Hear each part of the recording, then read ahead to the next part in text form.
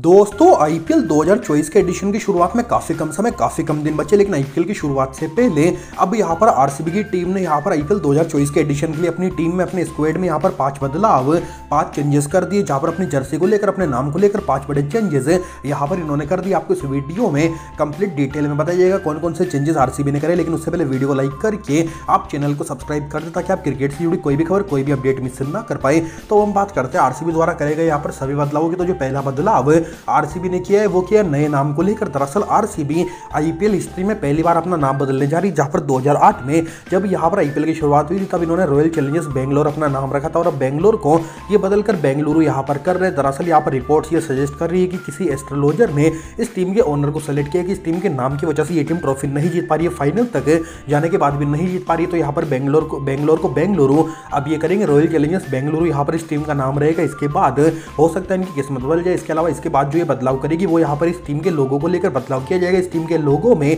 बदलाव किया जाएगा, नया लोगो यहाँ पर डिज़ाइन किया जाएगा, नया लोगो रिवील होगा और यहाँ पर ये सारी डिटेल्स 19 मार्च को ये टीम रिवील करेगी। 19 मार्च को जो आरसीबी का अनबॉक्स इवेंट होने वाला है, जो कि बेंगलुरु में होगा, उस इवेंट में ये सब ऑफिशियल किया जाएगा। लोगो भी उस दिन यहाँ पर यहाँ पर हमें शो किया जाएगा। हालाँकि उससे पहले वो लोगो हम हमारे टेलीग्राम चैनल पर यहाँ पर रिवील कर देंगे। इसीलिए आपसे रिक्वेस्ट है कि फटाफट डिस्क्रिप्शन बॉक्स खोलकर आप हमारे टेलीग्राम चैनल को ज़रूर ज्वाइन कर ले। स्पेशली हमारे टेलीग्राम चैनल पर स्ट्राइक आ चुके तो डिस्क्रिप्शन में हमने हमारे बैकअप टेलीग्राम चैनल की लिंक दिया तो आप वो चैनल को ज्वाइन कर ले। इसके साथ ही वीडियो को लाइक करके चैनल को भी सब्सक्राइब कर दे वो चैनल इसलिए ज्वाइन कर ले क्योंकि वहाँ पर आरसीबी का अनबॉक्स इवेंट भी हम टेलीकास्ट करेंगे और आईपीएल की खबरें भी सबसे पहले मिलेगी। इसीलिए आप फटाफट डिस्क्रिप्शन बॉक्स खोल टेलीग्राम चैनल को ज्वाइन कर ले। इसके अलावा जो और ये टीम बदलाव कर रही है, वो कर रही है जर्सीज को लेकर।